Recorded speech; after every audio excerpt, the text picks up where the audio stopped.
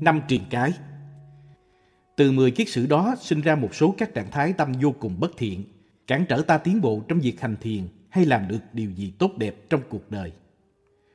Chúng ta gọi các trạng thái tâm đó là các chướng ngại, truyền cái.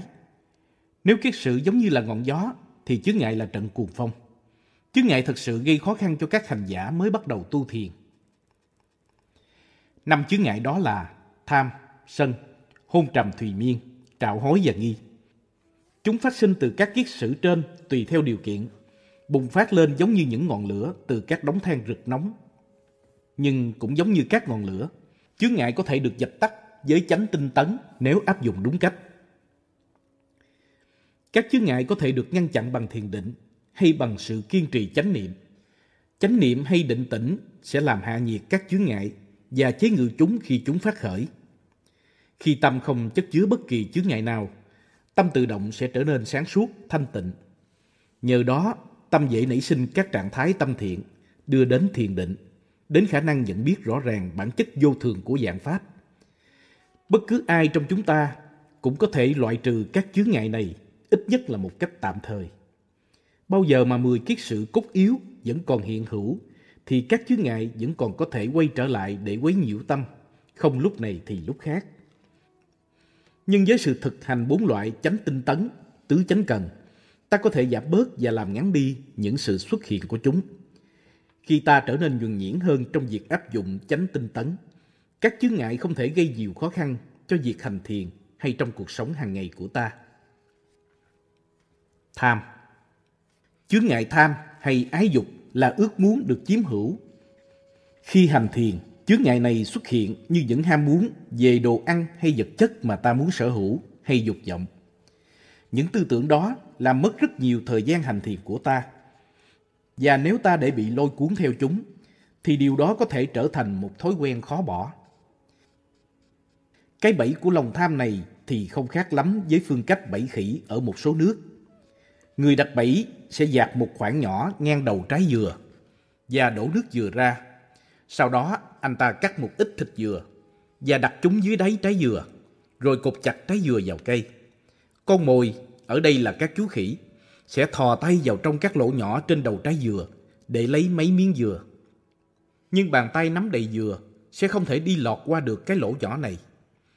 Khi người đặt bẫy trở lại, anh ta sẽ dễ dàng bắt được chú khỉ tham ăn quá bám víu vào mấy miếng dừa trong tay, đến nỗi không thể buông chúng ra để thoát thân.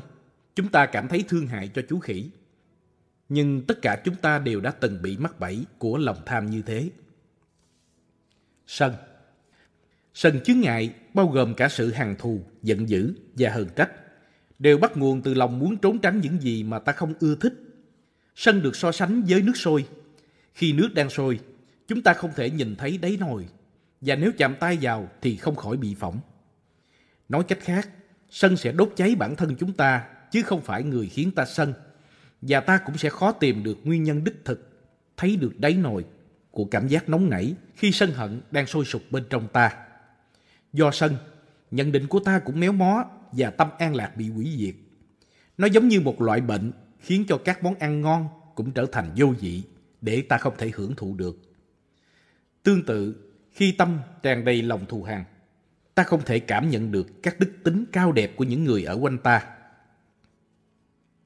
Hôn trầm thủy miên Trong lúc tọa thiền, hành giả thường phải tranh đấu với tâm tham, sân. Khi các chướng ngại này đã được chế ngự, hành giả vừa được có đôi giây phút bình an, thì sau đó lại cảm thấy quể quải, buồn ngủ, thủy miên, hôn trầm. Chướng ngại này phát sinh từ kiết sử vô minh. Thủy miên là trạng thái tâm ù lì, đờ đẫn. Trong khi hôn trầm là một trạng thái thân vật lý quể quải, buồn ngủ. Khi cảm thấy quể quải, buồn ngủ, ta không thể chú tâm hay làm được công việc gì. Cũng không thể thực hành chánh niệm hay tham thiền. Chướng ngại hôn trầm thủy miên được so sánh với tình trạng bị tù tội. Khi bị giam giữ, ta không thể biết việc gì đang xảy ra ở thế giới bên ngoài. Cũng thế, khi ta để thân tâm quể quải, muốn ngủ. Ta không biết điều gì đang xảy ra chung quanh hay bên trong ta. Trạo hối Lo lắng khiến ta không thể yên ổn, trạo cử. Vì thế hai trạng thái tâm này đi chung với nhau. Cả hai lo lắng và trạo cử đều khiến tâm không có sự suy nghĩ sáng suốt hay sự hiểu biết, trí tuệ sáng suốt. Chướng ngại này được so sánh với sự bị nô lệ. Kẻ nô lệ làm việc vất vả để phục vụ người chủ độc ác của mình, luôn phải lo lắng, căng thẳng vì sợ bị hành phạt. Càng căng thẳng, bức rứt thì họ càng khổ sở. Họ chẳng bao giờ được hưởng tâm an lạc. Nghi hoặc Chướng ngại nghi hoặc khiến hành giả bấn loạn, không biết phương hướng hay ngã rẽ nào để theo. Tâm nghi phát sinh do suy nghĩ về những điều khác hơn là những gì mà ta có thể quan sát xảy ra ngay trong giây phút hiện tại. Nghi được so sánh với người đi trong sa mạc mà không có bản đồ hay phương hướng gì. Khi đi qua sa mạc, ta dễ bị lúng túng vì rất khó phân biệt các cảnh quan. Bất cứ phương hướng nào cũng có thể là sai hay đúng.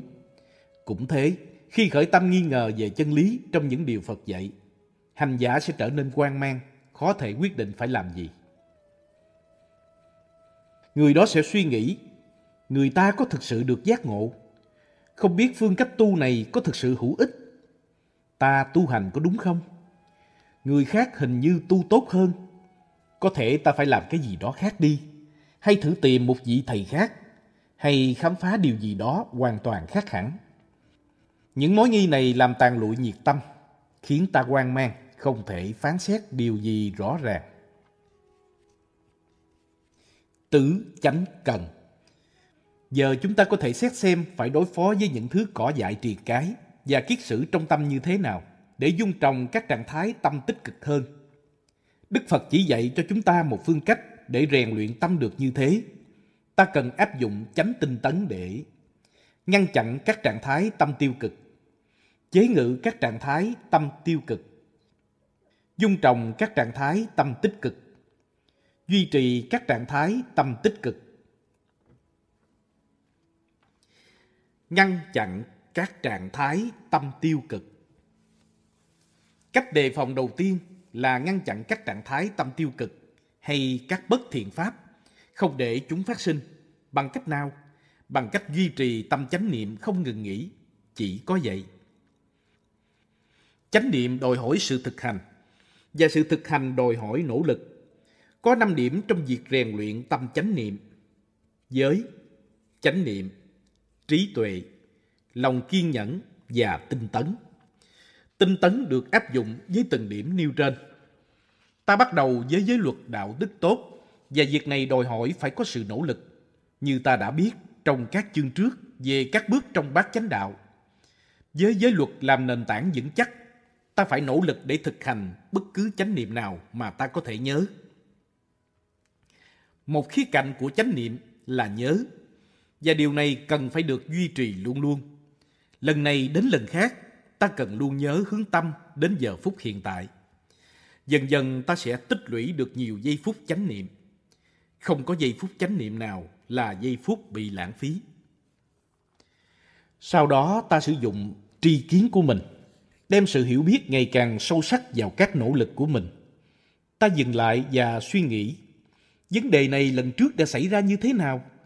Cảm nhận được hậu quả của những sai lầm trong quá khứ khiến ta có nhiều động lực hơn để tránh chúng xảy ra trong tương lai. Quán tưởng đến những trải nghiệm của mình để không lặp lại các sai lầm đó. Bằng cách đó, ta nhanh chóng sửa đổi được cách cư xử của mình.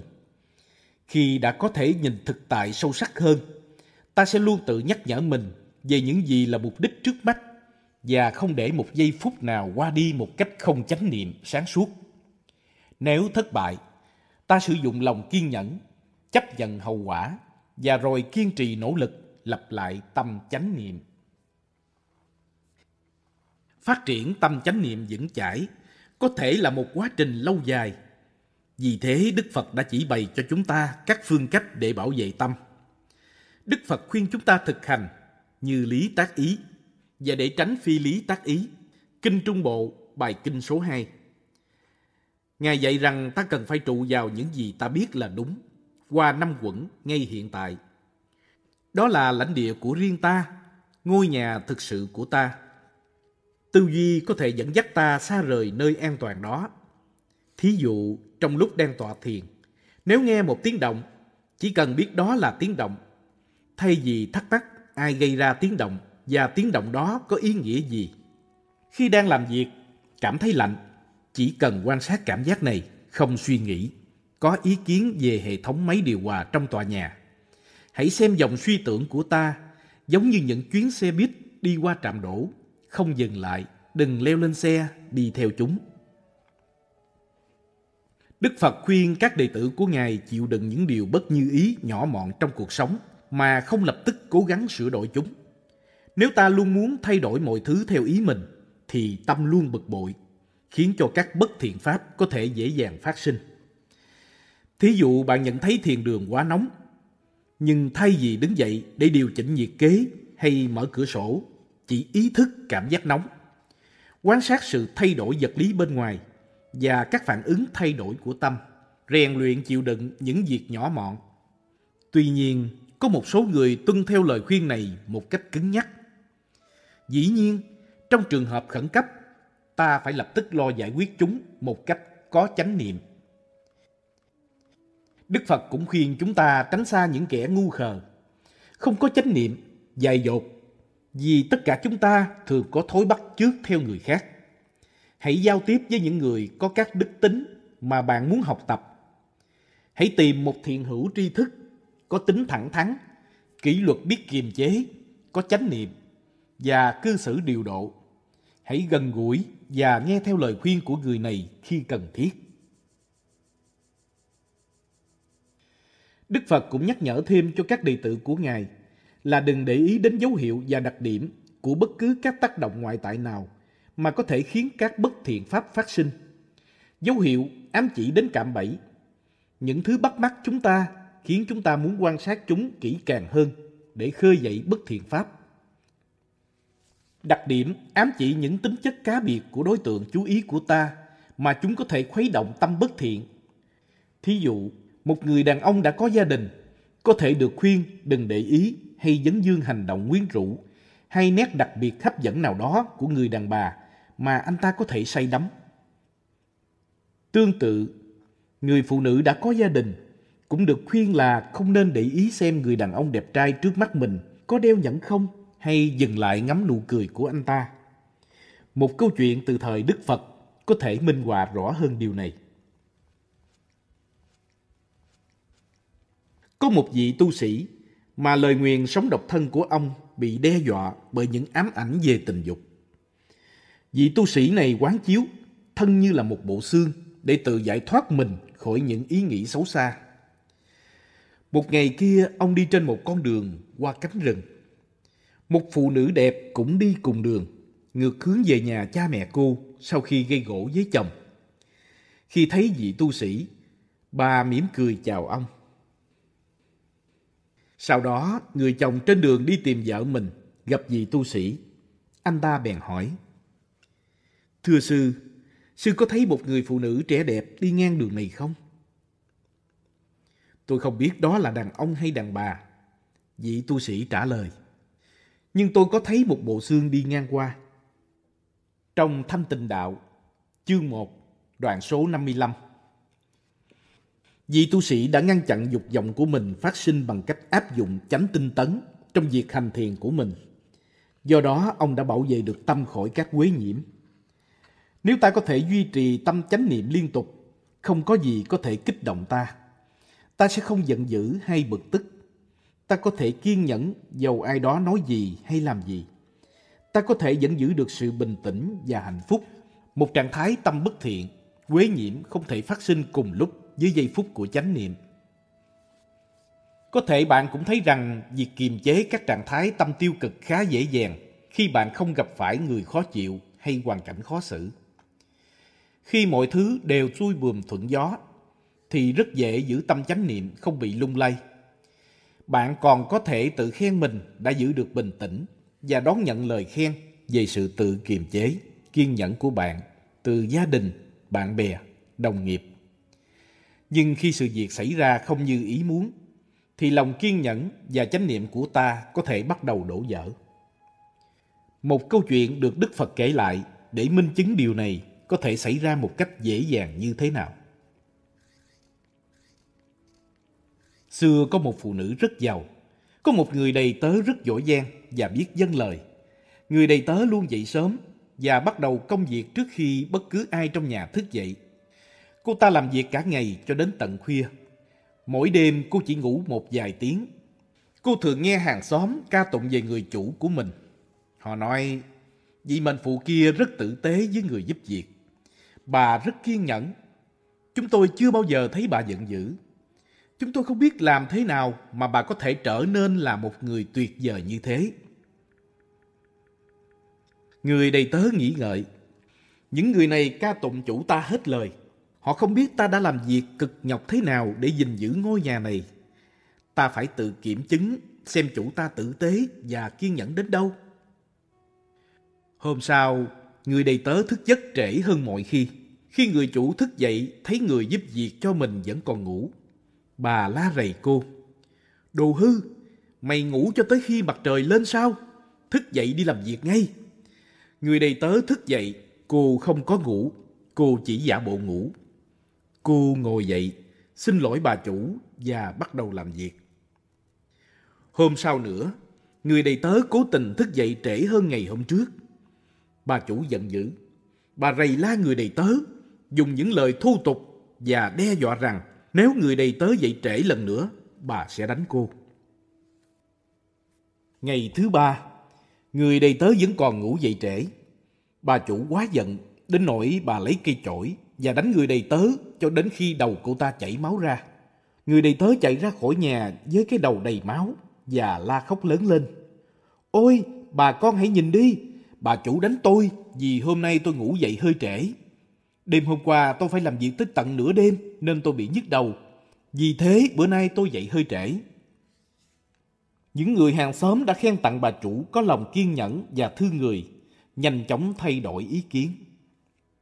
Kinh Trung Bộ, bài kinh số 21 Có thể bạn cũng đã trải qua một sự thay đổi nhanh chóng như thế sau một kỳ nghỉ dưỡng dài hay khi bạn vừa trở về từ một khóa an cư. Trong thời gian đó, sân hận, bực dọc, ganh tị hay sợ hãi dường như đang ngủ yên, nên bạn cảm thấy rất bình an và hạnh phúc. Nhưng ngay khi về đến nhà, bạn nhận được một tin nhắn trên điện thoại với lời lẽ cọc lóc hay một hóa đơn phạt tiền vì bạn quên trả bảo hiểm hay ai đó dẫm lên chân bạn thì ngay lập tức tâm sân hận lại trỗi lên, tâm bình an biến mất. Lúc đó bạn tự hỏi, làm sao để tôi có thể duy trì cảm giác như đang nghỉ hè hay cảm giác như đang tu thiền trong đời sống hàng ngày? Câu trả lời là phải luôn chánh niệm. Ta cần nhớ rằng không phải là tha nhân hay hoàn cảnh bên ngoài đem lại phiền não cho ta, mà chính là những duyên nghiệp trong quá khứ. Ngoài việc cố gắng để luôn duy trì chánh niệm, việc rèn luyện để nhận ra các khuyết điểm của thói quen tâm lý cũng có thể giúp ta ngăn chặn những phản ứng tiêu cực phát sinh. Thí dụ bạn đi mua một đôi bao tay trong một cửa hàng sang trọng và người bán hàng rất cọc cằn. Dựa trên kinh nghiệm trong quá khứ, bạn biết rằng mình sẽ nổi giận khi người bán hàng thiếu lịch sự.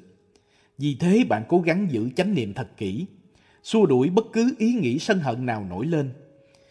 Bạn tự lý giải với mình bằng cách suy nghĩ. Thì người bán hàng này cũng là con người. Có lẽ đêm qua anh ta không ngủ được. Hay anh ta có những lo lắng về tiền bạc. Hay vấn đề gì đó trong gia đình. Có thể anh ta cảm thấy bất an đối với những người khác màu da hay quốc tịch. Hay hôm nay anh không được khỏe. Đó có thể là lý do khiến anh ta thiếu kiên nhẫn đối với khách hàng. Phương cách này nghe có vẻ dễ, nhưng không dễ thực hành. Tâm chúng ta chưa được rèn luyện để ngăn chặn các thói quen suy nghĩ tiêu cực. Nổi giận thì rất dễ, phê bình người khác cũng rất dễ, lo lắng về tương lai cũng dễ, ham muốn vật chất cũng rất dễ. Những thói quen này của tâm cũng giống như là các loại thức ăn giặt một khi ta đã bắt đầu mở một gói khoai tây sấy để ăn, thì ta rất khó dừng lại nửa chừng. Kềm chế không cho các tư tưởng tiêu cực khởi lên cũng rất khó. Một khi ta đã dính vào đó thì rất khó buông bỏ, như Đức Phật đã dạy. Người tốt dễ làm tốt, người xấu khó làm tốt. Người xấu dễ làm xấu, người tốt khó làm việc xấu. Trích Kinh Phật tự thuyết Chương 5 Truyện số 8 Rất dễ làm những việc tự hại cho mình, rất khó làm những việc lợi cho mình. Trong Kinh Pháp Cú, kệ 163